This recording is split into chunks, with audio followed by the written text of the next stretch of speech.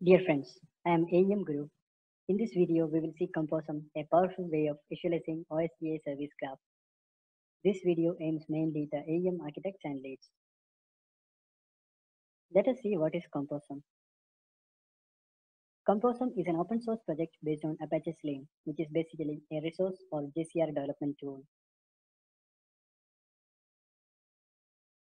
Major modules of Composum are nodes, pages, assets, and platform. We are going to see a Composum use case with AEM. Here, Composum helps create a diagrammatic representation of AEM's OSGi service dependencies.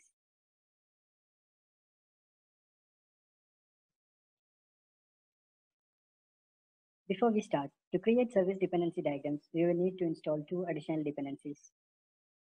Composum Sling Core Console, Composum Sling Core Commons. Let us go to the demo now.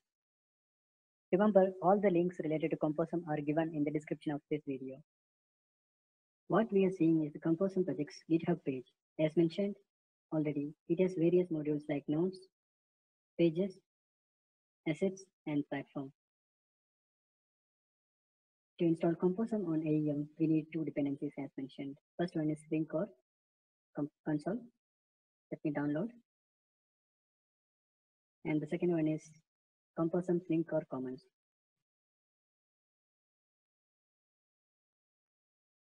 Let me go to AEM's bundle, install the downloaded packages, commons. Next is core.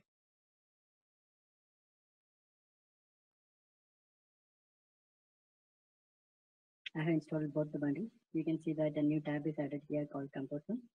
It has Composum client libraries, service graph, and thread So let me ensure the bundles are active state.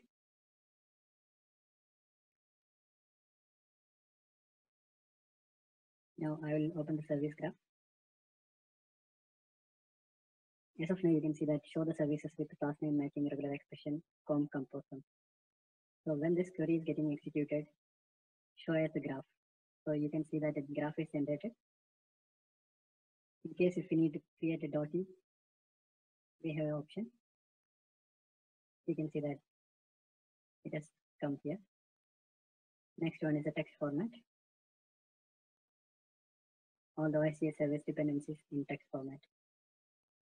Now let me go and get one of the common service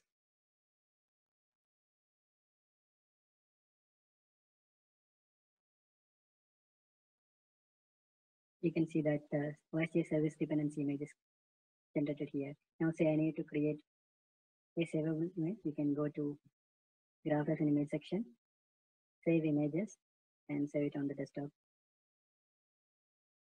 I have already an image saved, click on yes. I have opened the SVG image in Internet Explorer. You can see that image is here. So this is the way we generally use the Composum with respect to generate the OSGi service dependencies. Hope this video was helpful.